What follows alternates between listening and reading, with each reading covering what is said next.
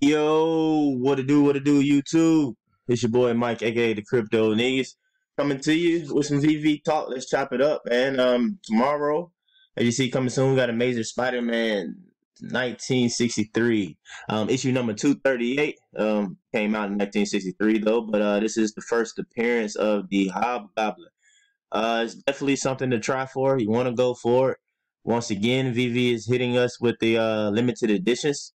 I guess we can assume now that they are, you know, kind of changing up what they did in the past. I know a lot of people have been yelling for, you know, lower edition sizes when it comes to the current market.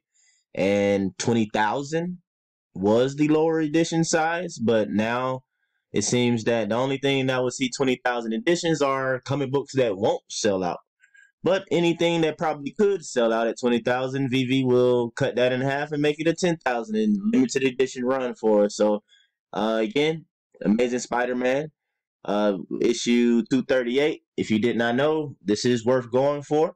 Uh, it is, you know, relatively valuable in uh, the real world. You can look it up yourself. You know, just kind of Google, go on to eBay, go to stuff like uh, Key Key Collectors Comics or uh, Go Collect, and just get a general idea of what the uh, real world prices are. The covers are great, but like I said, definitely will be trying for it. Hope we um all land one and uh hope we all get a secret rare. As we see, it'll be 250 and uh, you know what 225. They keep their their uh 25 editions. But um the main thing reason why I wanted to come today is because uh something that's big within the community that's talked about right now. And um want to bring it up here. Let me see. Let me bring it up. Oh, there we go. We already got it selected though. But the VeVe logo. Let's talk about this VeVe logo, okay? A lot of speculation or a lot of things. Um number one I want to say is that uh, VeVe, in my opinion, the owners and everything, they need to learn how to kind of put their foot down and keep their foot down. Um, have a clear mm, plan, have a roadmap, and kind of stick to it.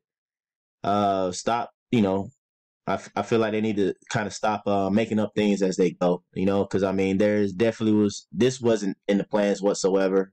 Um, they said to us that we'll be able to get the blue and white things through a queue system, whatever that was supposed to happen.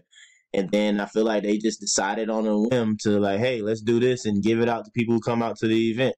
You know, um, they might have listened to someone who's, you know, probably close to them or something like that. But anyway, like I said, I believe the VeVe they need to learn how to just have their plan and stick to it and stop changing it so much. I mean, it is good that they you know, tend to try and listen to feedback in the community, but at the same time, they have to understand that the feedback that's coming from majority of the community, I'm not saying everyone, but majority, their feedback is based upon what it is that they want to see or they like or what it is that'll probably benefit them.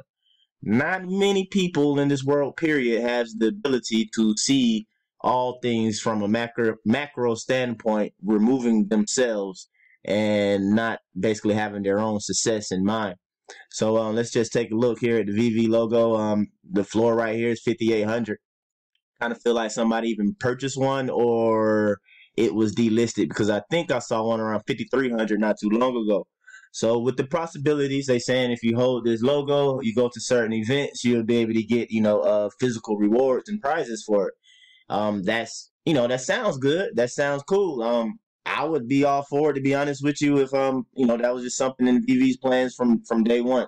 You know, and it's not something that they've been changing up. I mean, I'm not saying they had to have it available since day one, but we've had plenty of AMAs. We've heard them speak their minds and speak their thoughts many of times over the past um year and a half, going on two years, and this was never a plan. You know, all when when giving out the ideas of renting NFTs and stuff like that None of this was ever said. It was never said that, you know, maybe one day we'll reward people who come to the physical to the events with physical items and we'll have this or that. No, then I mean, so that's my main thing is that they need to just kind of have things, you know, clear and concise and kind of stick to it.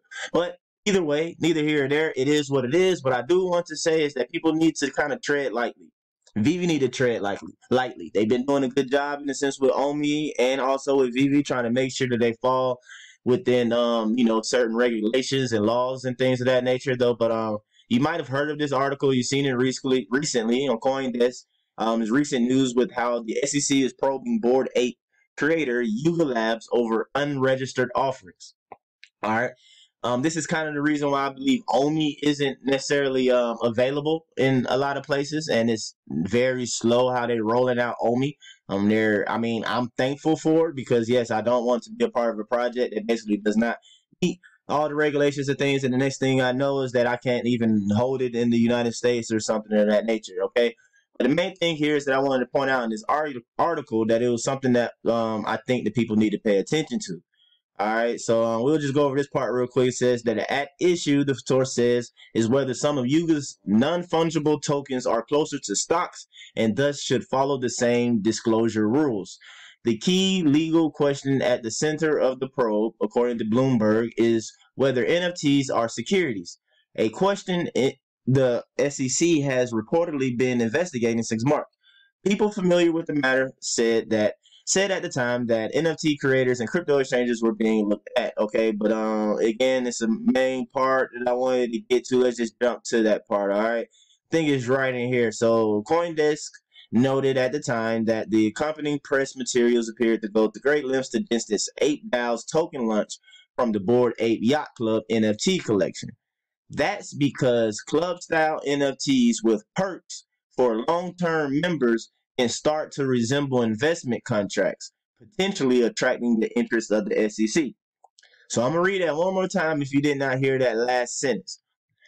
That's because club style NFTs with perks for long term members can start to resemble investment contracts, potentially attracting the interest of the SEC. Now, I'm, I don't know what the branches or the organizations are in other countries and everything because VeVe isn't necessarily a United States based um, company.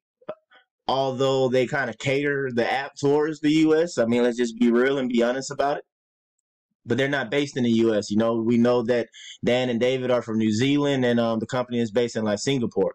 So, not entirely sure how things would fully impact VeVe, but even so, though, we see things even with the recent uh, Star Wars debate and the other Star Wars NFT. I don't know their name, but just dropping on wax and how you cannot get it in the United States.